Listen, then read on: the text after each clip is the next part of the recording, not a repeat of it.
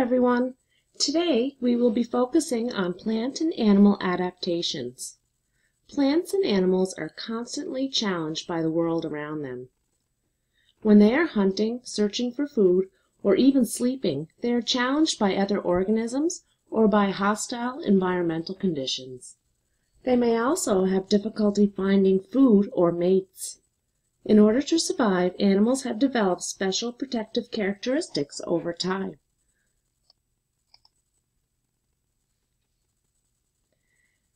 Adaptations are features that make an organism well suited to its surroundings. They may be physical characteristics that affect structure or appearance, or behavioral characteristics that affect how an organism acts. They give an organism a better chance of surviving and reproducing in a particular environment. It is important to note that adaptations are inherited characteristics. This means that they are passed on from one generation to the next. An organism already has all of its special adaptations when it is born. Here we see an example of the polar bear and some of the adaptations it has that make it well suited to its habitat.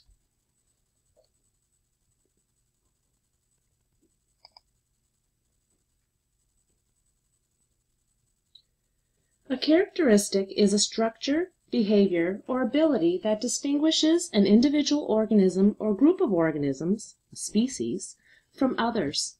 These characteristics are known as adaptations and represent either physical or behavioral adaptations.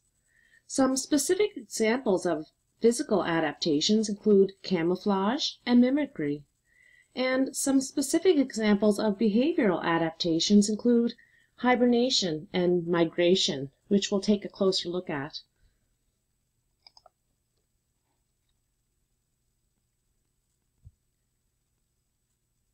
Adaptations that affect the way an organism looks are called physical adaptations.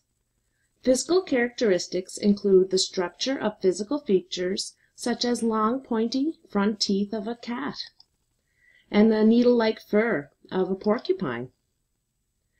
Almost any structure that an organism has can be attributed to an adaptation to its environment.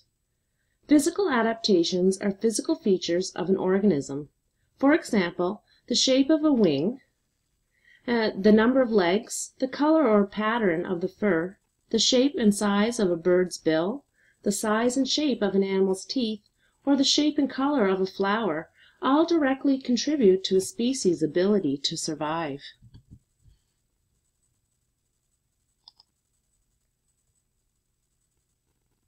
You have physical adaptations as well. For example, your skin has sweat glands that help you keep a constant body temperature no matter how hot or cold it is. When it is hot, sweat glands release water onto your skin. The water evaporates and as a result you become cooler. When it's cold, sweat glands do not release water and you stay dry and warm. If your body gets too cold you will start to shiver to try and maintain body temperature.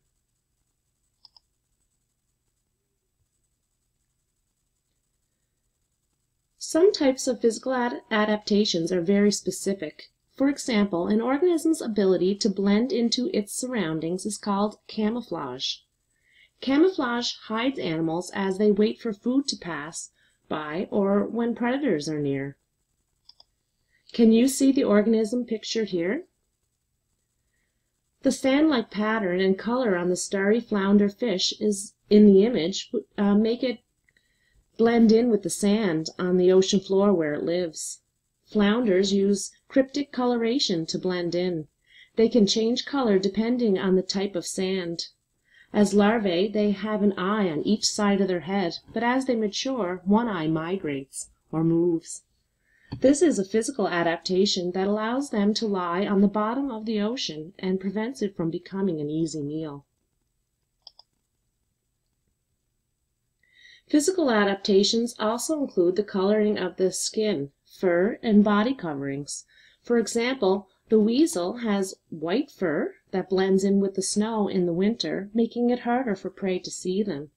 In the spring they grow a new, darker pelt.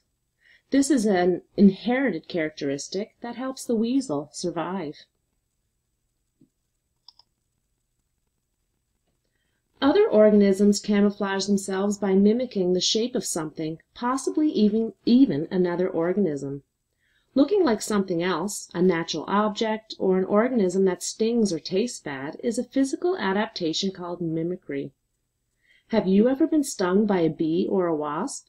This experience would have taught you to avoid buzzing black and yellow striped insects such as the yellow jacket wasp. Animals that eat insects avoid wasps too. Insects with the bright coloration of the yellow jacket wasp tend to sting. However, there are insects that have the same coloration as the yellow jacket wasp, such as the adult hover fly pictured here, that do not sting. Looking like an animal that does sting can help the fly to avoid being eaten by its predators.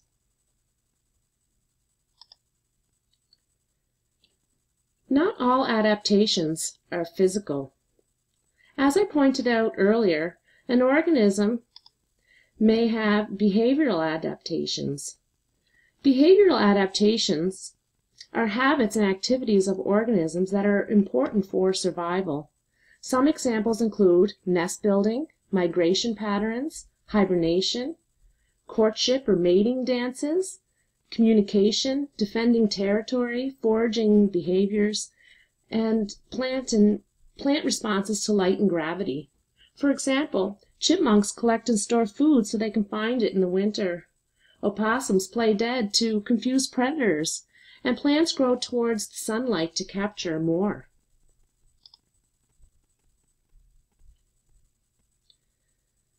Hibernation is a period of time when animals are much less active and use a lot less energy than usual.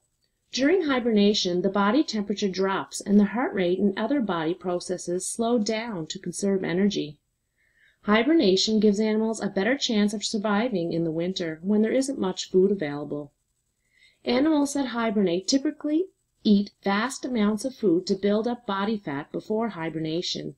This fat fuels the animal's body for its slowed down body processes.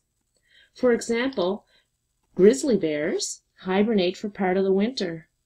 Grizzly bears overwinter in dens that they excavate or dig out when and then line with leaves, grasses, spruce or fir branches, and pine needles. Denning occurs from October to November sorry, denning occurs from October or November to April or May depending on the location. The further north the longer the denning period. Some other examples of animals that hibernate include bats, chipmunks, and squirrels.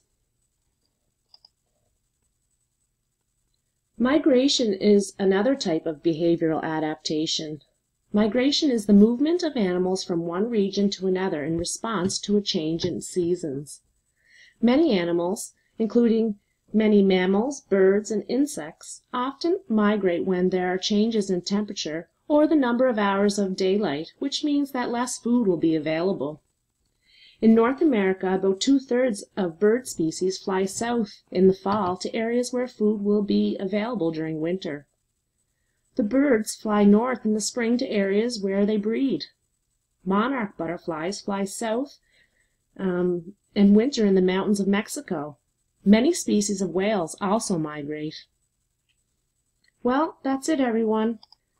Thanks for watching.